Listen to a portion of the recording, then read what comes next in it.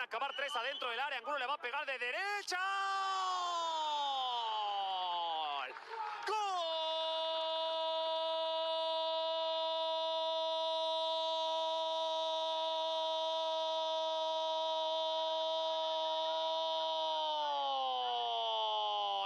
Obra de arte de Angulo, que se tuvo confianza.